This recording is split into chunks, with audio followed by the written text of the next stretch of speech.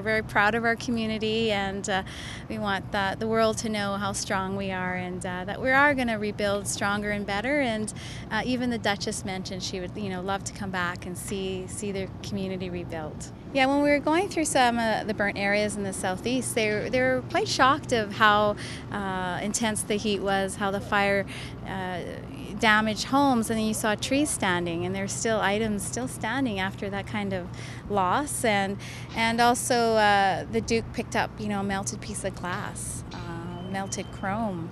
Uh, so they, they just couldn't believe uh, the, the, the, scale of devastation as well. It's an amazing part of our history now in Slave Lake, and uh, we'll be forever grateful to the royal family for that. Our residents are lifted up today. Uh, to see them smiling, excited, they were giddy, they were laughing, they were crying, all those emotions, and you know, it just makes me proud.